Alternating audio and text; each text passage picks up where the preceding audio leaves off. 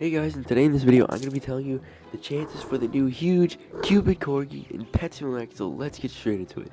So, I think the chances of this pet, since it's going to be an event, based on what I've seen in other events, it's probably going to be maybe 1 in a million, maybe 1 in 2 million, because especially like the super, uh, the super lucky cat with the lucky block event everything, or whatever it was called, um, huge lucky cat, you know, that, that was one in a million. I think that this one is going to be the same thing. I don't think it's going to be that rare. Well, it, well, it's going to be pretty rare, you get it. But I'm pretty sure it's going to be one in a million. But I'm also going to be doing a video on the scavenge hunt later, which starts apparently in 26 minutes. But, um, yeah, so I think the chances for the huge, uh, huge Valentine corgi, whatever it's called, it's, it's in the, you know, it's the Valentine thing. Uh, I think it's gonna be, the chances are gonna be like 1 in a million, 1 in 2 million.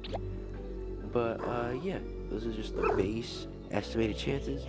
So if you guys did enjoy this video, hit that like button down below, subscribe, and I'll see you guys in the next video.